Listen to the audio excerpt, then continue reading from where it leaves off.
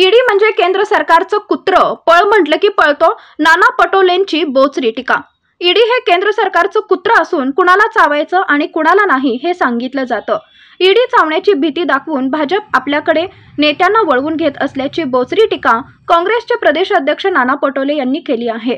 मागील काही दिवसांपासून काँग्रेसकडून ईडी विरोधात आक्रमक आंदोलने केली जात आहेत. काँग्रेस अध्यक्ष सोनिया गांधी यांची आज नॅशनल हेरॉल्ड प्रकरणी ईडीकडून चौकशी सुरू आहे. त्याच्या निषेधार्थ काँग्रेसच्या वतीने विविध ठिकाणी आंदोलन करण्यात आले. नवी मुंबईतील आंदोलनात सहभागी झाल्यानंतर पटोले यांनी ही टीका केली आहे. काँग्रेस प्रदेशाध्यक्ष नाना पटोले यांनी म्हटलं की केंद्र सरकारची दादागिरी सुरू आहे. इंग्रजांच्या अत्याचाराप्रमाणे भाजप सरकारचा देशात अत्याचार सुरू आहे. देशात महागाईचा आगडोम उसळला असून केंद्र सरकार विरोधात आम्ही लढत राहणार असल्याचं नाना पटोले यांनी म्हटलं आहे. खरं तर मी आपल्याला या निमित्तानं सांगेल की महाराष्ट्रामध्ये जेव्हाचं महाविकास आघाडीचं सरकार आलं हे सरकार पाळण्याचा प्रयत्न सातत्यानं झाला. शब्दाचे बाण फेकून आणि केंद्रीय तपास यंत्रणेचा दुरुपयोग करून महाराष्ट्राचं सत्ता पाडली गेली.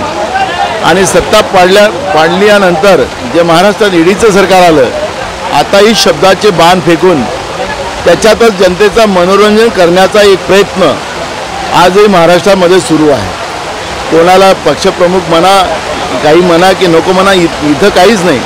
तुम्ही मोठ्या केंद्रातल्या महाशक्तीच्या आधारावर महाराष्ट्रात सरकार तर बनवलं. दोनच लोकांचं गेल्या महिन्याभरापासून तुम्ही मंत्रिमंडळाचा विस्तारही करू शकला नाही पण महाराष्ट्रामध्ये ओलावृष्टी पडलेली आहे आणि शेतकऱ्यांचं दहा लाख हेक्टरच्या वर पीक नुकसान झालं. अनेक गरिबांची घरं वाहून गेलीत अनेक लोक मृत्युमुखी पडलेत अनेक जानवर वाहून गेलेत. पण महाराष्ट्रातलं ईडीचं सरकार हे शब्दबाण फेकून जनतेच्या मनोरंजनापेक्षा त्या लोकांना जी आज गरज आहे ज्यांचे कुटुंब उद्ध्वस्त झालेले आहेत जो शेतकरी उद्ध्वस्त झालेला आहे त्याला मदत केली. तर मला असं वाटतं की तुमच्या या कोण पक्षप्रमुख आहे की नाही याचं कोणाला घेणं देणं नाही. आणि म्हणून या शब्दाकडे आमचं कुठलंही लक्ष देण्याचं कारण नाही.